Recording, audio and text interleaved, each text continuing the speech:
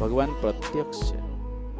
જો સમજતા આવડે ને જોતા આવડે તો ભગવાન પરોક્ષ નથી, પ્રત્યક્ષ જ છે. આપણો ભાવ કેટલો છે? જેવો ભાવ એવા ભગવાન. આપણે માનીએ કે આ ધાતુનું સ્વરૂપ છે, ના બોલે તો નહીં બોલે. આપણે માનીએ આ તો ચિત્રામણનું છે, ક્યાં ખાય છે, ક્યાં પીવે છે, તો એવી રીતે રહેશે. અને આપણે માનીશું, ભગવાન મારી હારે છે.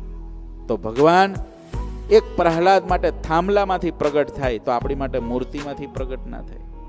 પ્રહલાદ થાંભલામાંથી જો પ્રગટ કરી શકતો હોય, પાંચ વર્ષનો પ્રહલાદ થાંભલામાંથી પ્રગટ કરે, તો આપણને મળેલા અર્ચા સ્વરૂપમાંથી ભગવાન પ્રગટ કેમ ન થાય?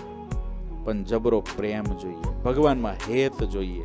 ભગવાન મારા છે ને હું ભગવાનનો છું, એવો આપણને હૃદયમાં કેફ જોઈએ. મારા ભગવાન મારાથી એક મિનિટ દૂર હોય જ નહીં, મારી સાથે જ છે.